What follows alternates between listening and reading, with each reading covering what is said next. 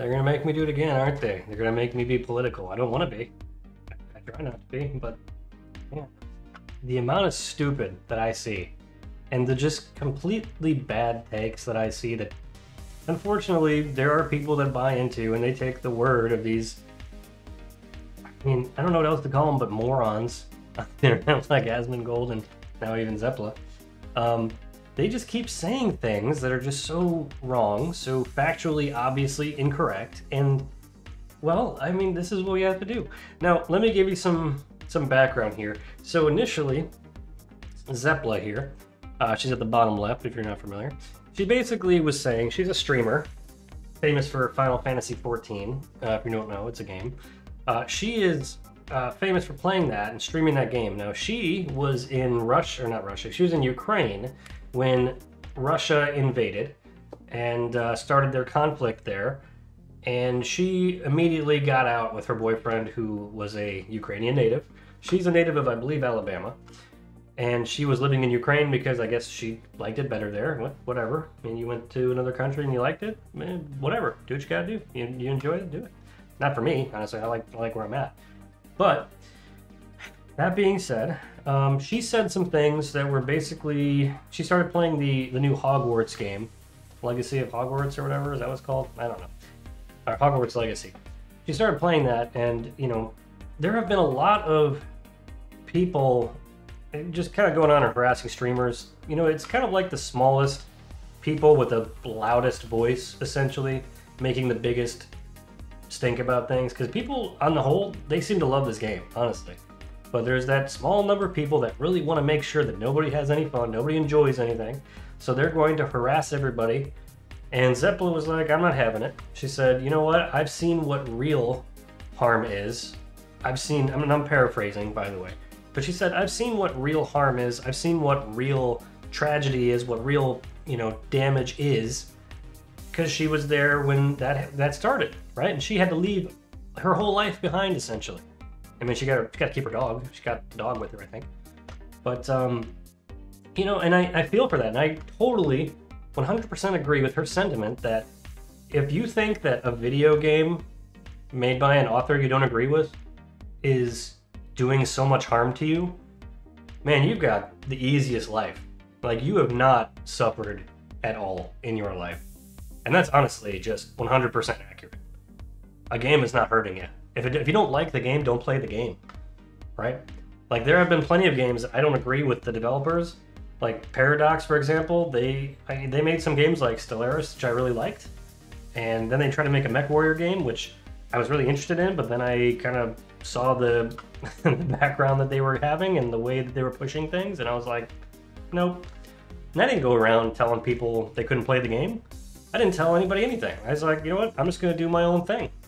It was years ago, right? The only thing I did was I noticed what was going on in the game, and I said, all right, refund, you know, within like an hour of having it. And I just said, my only reason was don't agree with the views of the developers. That was it. That was that was the most I'd said as far as like I guess activism goes for that particular thing. So now that you have the background, Zeppela went off and started trying to describe, you know, trying to answer for what she said and trying to, you know, justify her position, which she didn't have to do, because I would say the vast majority of people agree with what she's saying. The vast majority of people do. This is where she went way wrong, because um, she shouldn't have done that. So, got some time codes here, and we'll just go through the video, and I'll and I'll talk to some of the things. So, oh, let me fix my audio real quick because I'm pretty sure it's going to the wrong stuff. So here we go. Uh, wait, sorry, I screwed it up. Let me fix it. Everything's fine. Everything's perfectly fine. Here we go.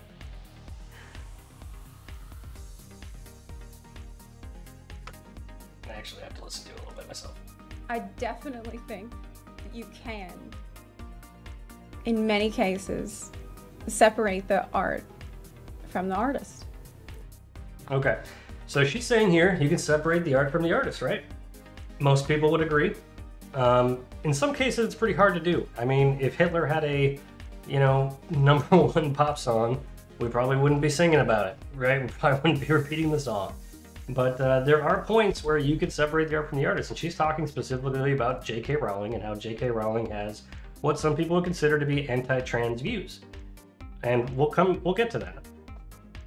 Uh, next clip here, where she's going to talk about one of the uh, band members, I think like the singer of uh, Pink Floyd, Roger Waters. which gives royalties to Roger Waters, who's in Pink Floyd, because he is a piece of shit. I'll take her word for it. I don't know. He is a Russian shill. Okay, so she's saying he's a Russian shill. She is saying that this, like 100%, that's what he is. Let's uh, let's examine that real quick. What did what did he say? Uh, so Roger Waters went and talked to the UN, and he called for a ceasefire and condemned Russia's illegal invasion, but also denounced provocateurs in the West who claimed he were who he claimed were responsible. He said the invasion of Ukraine by the Russian Federation was illegal. He condemned it in the strongest possible terms. Also, the Russian invasion of Ukraine was not unprovoked, so I let, so I also condemn the provocateurs of, in the strongest possible terms. Honestly, pretty milquetoast view, to be honest. Uh, I can see that upsetting both sides because realistically, he's not saying what Zeppela would want, which is, you know, justifiably, justifiably, and reasonably, she hates Russia because they ruined the life she had. I understand that. I get that. Okay. Um, but what he's saying is he wants the war to stop. He doesn't want to see the the the blame game. Well, kind of more or less. He's sort of blaming both sides really, but he's trying to. He just wants the war to stop. Essentially, he doesn't want to argue too much about who's responsible and whatever. He wants the bloodshed to stop. Okay. Now, I don't think he's necessarily saying that you, Russia should be allowed to annex Ukraine. Didn't sound like he was saying that at all. Uh, what he's saying is that, and he may not be completely incorrect in saying that, yeah, the the gov- the Western governments were kind of like pushing this to happen. I'm not saying they were, but I am saying that they're not that you know the rest of the world isn't 100% guilt free as far as you know not provoking any of this to happen. I mean, you kind of look at back at what was happening. They were talking about getting Ukraine back into the UN and stuff, or getting them to be part of the Allies. So that would make it more difficult. Russia had already been doing this plan, so no matter what happened, Russia was probably already going to do what they're doing because they most likely want to get that access into Crimea and get access to the ocean there, so, you know, to the ports. So I'm not saying they wouldn't have done it one way or another, but I am saying that it's not 100% wrong to say, yeah, there was stuff going on that was pushing this further, right? I mean, there's always provocations one way or another. People try to say that with uh, World War II and America getting into it is, you know, America wasn't 100%, you know, white glove didn't cause any issues either. And that's true because, you know, America was aiding, uh, was aiding the, you know, Allied powers before they got into the war, right? It wasn't just like, oh, Japan's just randomly going to attack the United States. Like they, there was a reason. They were. It was pretty clear the United States was going to. I mean, they were. Uh, the presidents of the United States as well as the prime minister over in Britain. They were talking and they were trying to get the countries to uh, essentially ally together and get America into the war. Congress was just kind of shutting it down in the United States because they're like, we don't want to get into war. But the attack did, you know, essentially push America into the war. But again, it wasn't completely unprovoked because it looked like, oh yeah, well, the U.S. is trying to do is trying to get into this war. So just Japan tried to take the United States out right off the bat. Didn't really work out for them. But what she's saying is realistically not not not sure not, not really correct. She's putting it on a lot harsher terms than it actually is. When you see what's actually said, it's not as harsh as what she's making it out to be. Um, now, let's move on to what she's talking about with uh, J.K. Rowling. So she has some comments on J.K. Rowling that I wanted to talk about. I'll tell you something else. Okay. I was actually not going to play this game because I personally, I'm not a fan of J.K. Rowling. I do not like J.K. Rowling. You want to know what I think?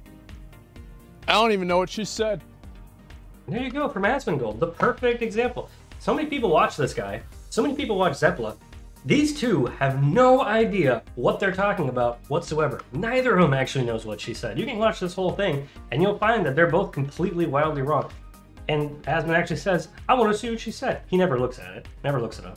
So I'm going to do it for you. Uh, here we go. Here's the complete breakdown of J.K. Rowling's transgender comments and controversy as per Glamour, which is already going to be kind of biased. So, based on it being Glamour, it's going to be a very biased uh, opinion here, but even looking at this, you're to see it's not as bad as people try to make it out to be. So, her tweets were basically so she starts out by saying people who menstruate? I'm sure there used to be a word for these people right? And she's obviously being tongue-in-cheek there. And then another tweet she's saying if sex isn't real there's no same-sex attraction. If sex isn't real the lived reality of women is globally erased. I know and love trans people but erasing the concept of sex removes the ability of many to speak or meaningfully discuss their lives it isn't hate to speak the truth the idea that women like me who have been empathetic to trans people for decades feel kinship because they're vulnerable is the same way as women, i.e., to male violence, hate trans people because they think sex is real and has lived consequences. It's nonsense. That's what she says. Uh, I respect every trans person's right to live any way that feels authentic and comfortable to them. I'd march with you if you were discriminated against on the basis of being trans. At the same time, my life has been shaped by being a female, so I do not believe it's hateful to say so. I've never felt as shut, shouted down, ignored, and targeted as a lesbian within our exposed LGBTGL, GLBT. I guess it's different on, you know, that side of the world. GLBT community as I have over the past couple of years. So she's talking about how she feels about things, right?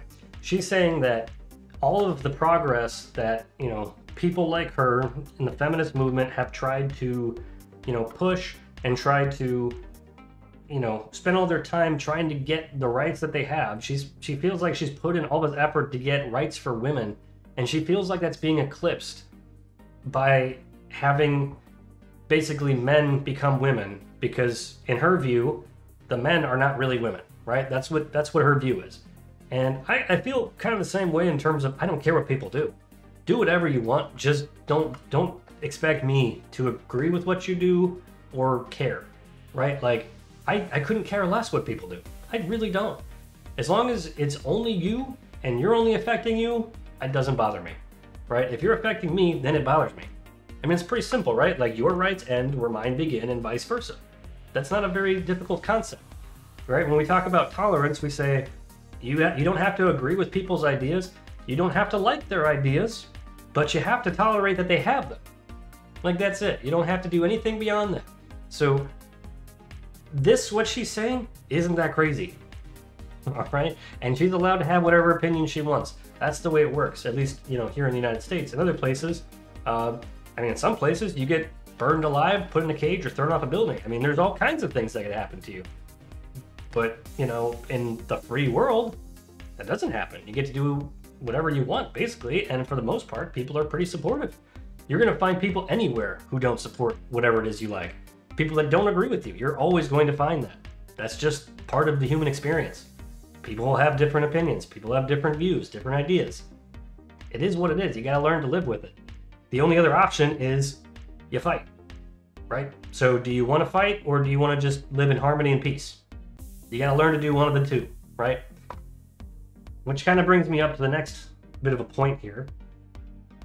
So, back onto back onto the actual video. Uh, I got here at 2341. So this is where Zepla starts taking steps backwards and saying that she, saying that basically she's saying that trans people are ignoring actual things that hurt them and she's way off base yet again. So here we go.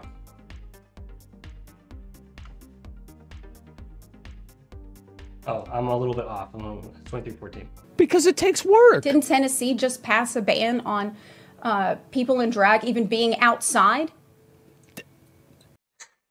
Hold on, let's finish. Let me see what. I haven't heard a peep about that. How could you? Why would you hear anything about that? Why would you hear? What? That's a good question. Why would you hear anything about that?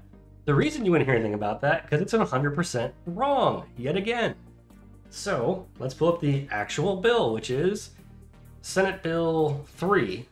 Uh, of the U.S. or the Tennessee um, Senate. So here's what it says.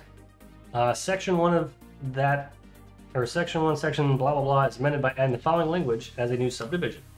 Adult cabaret performance means a performance in a location other than adult cabaret that features topless dancers, go-go dancers, exotic dancers, strippers, male or female impersonators who provide entertainment that appeals to a prurient interest, which is if you're not if you're not uh, if you don't know what the word prurient means, that means basically it's exceedingly sexual in nature, right? Like it's meant to be, it's meant for sexual gratification essentially. That's that's what that is.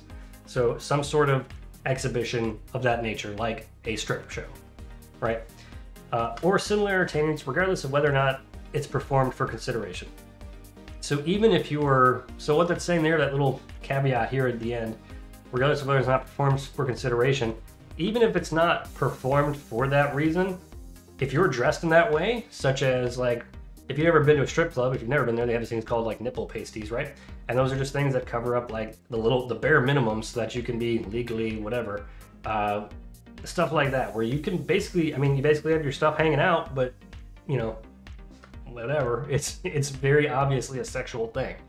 Okay, so it says it's an offense for a person to engage in adult cabaret performance on public property or in a location where the adult cabaret performance could be viewed by a person who is not an adult. Notwithstanding this, this subsection expressly preempts an ordinance, regulation, restriction, or license. Okay, so this part is just saying that they can't have this, this can't be preempted by a local thing, essentially. That's all this is. Um, so, what this is saying, actually saying right here, is you can't have sex shows out in public. And you can't have them in a place where it can be viewed easily by a child. Okay? You don't do sex stuff in front of children. That's what this bill is saying. In its most basic form, that's what this is. Now, if you don't have kids, you might not understand why. But there's a lot of reasons why. Okay?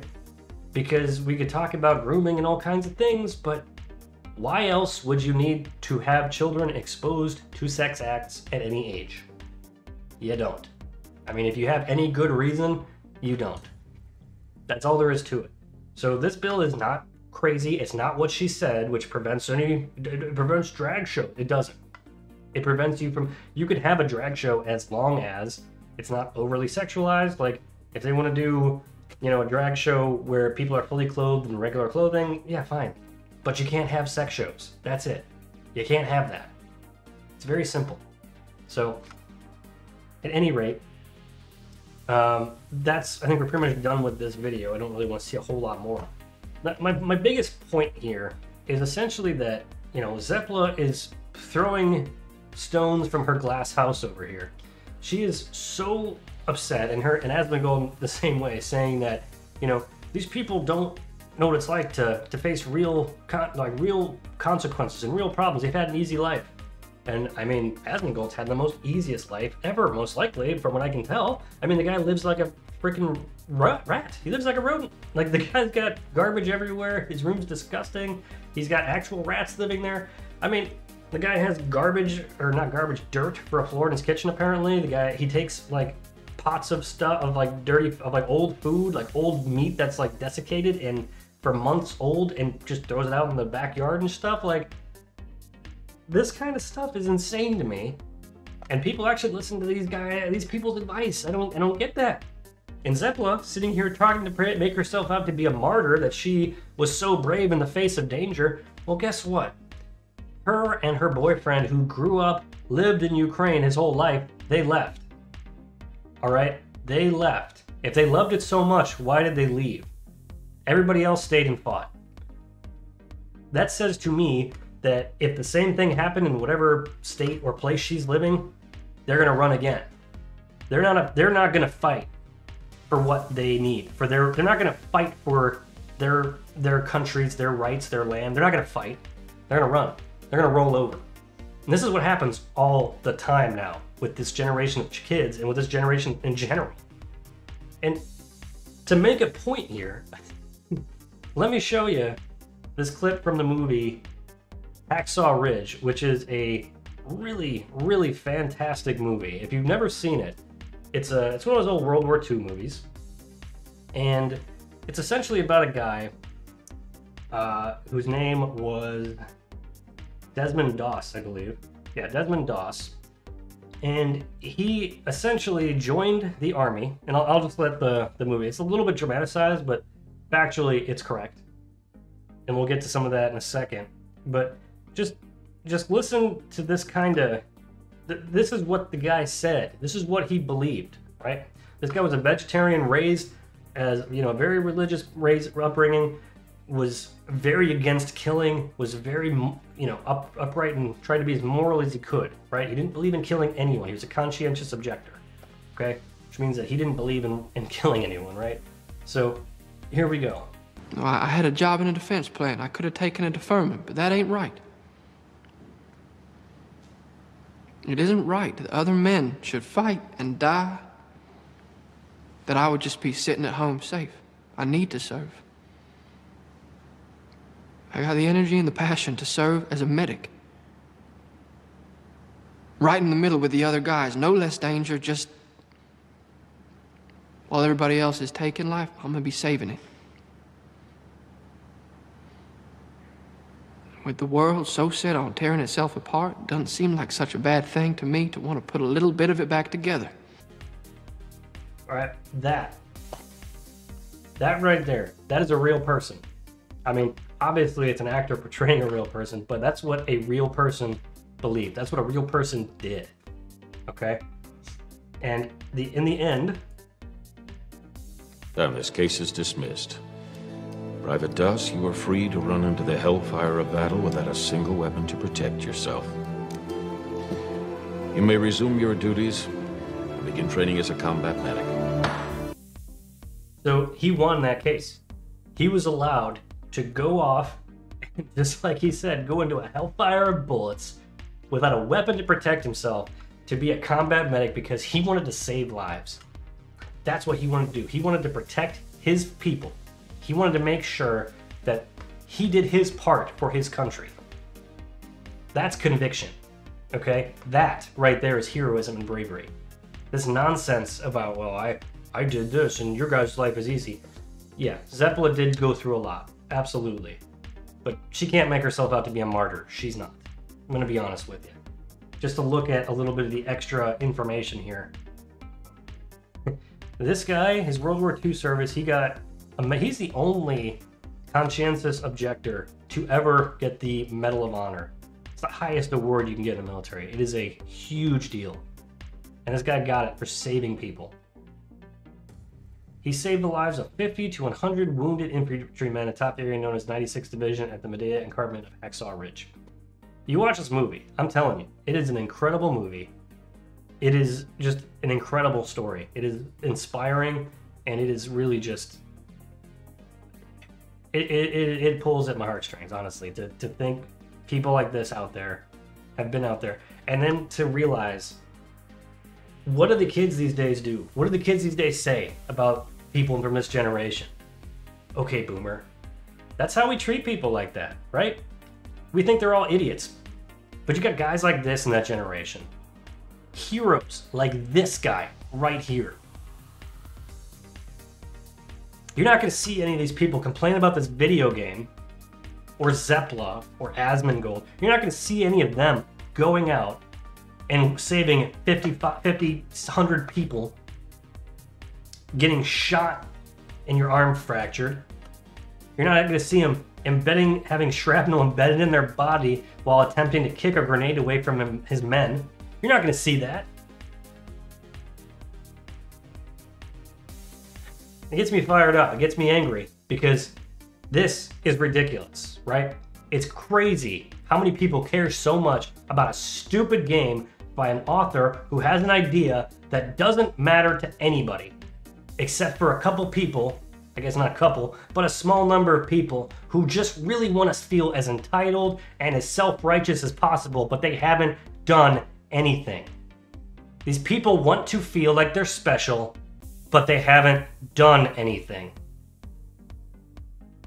That includes Zeppela and Asmongold. They haven't done anything.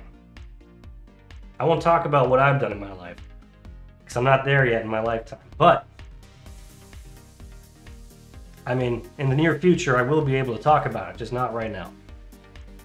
That's it for it. that's it for this though. Just wanted to give my opinions on everything and talk about it. And uh, thanks for watching. Hope you enjoyed it. Maybe you have a different idea than me. I'm happy to hear it. I'm happy to answer comments. I'm happy to talk about things because I don't get upset over a discussion. You shouldn't. You shouldn't get upset over a discussion. Maybe you do, but at least have the courage to have the discussion. But anyway, thanks for watching. I'll see you on the next one. Please like and subscribe for more content. And until then, try not to die.